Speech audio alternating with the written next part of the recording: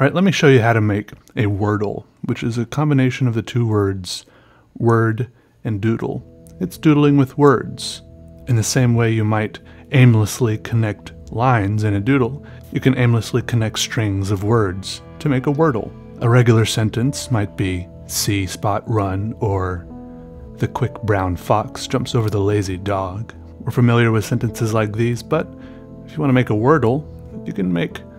a longer, more aimless and meandering sentence like,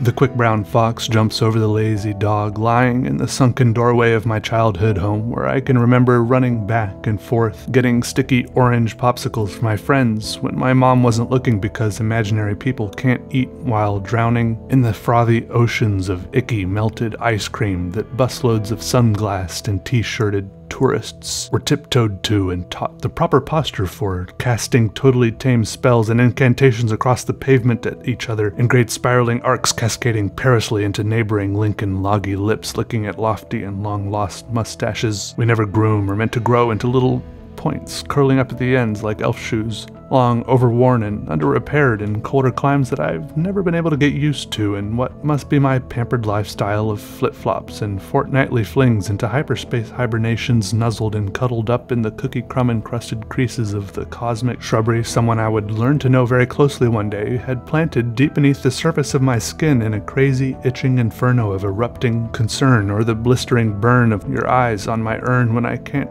wriggle or turn on the mantelpiece, so I sit there and take it breathlessly, all dizzy and dry.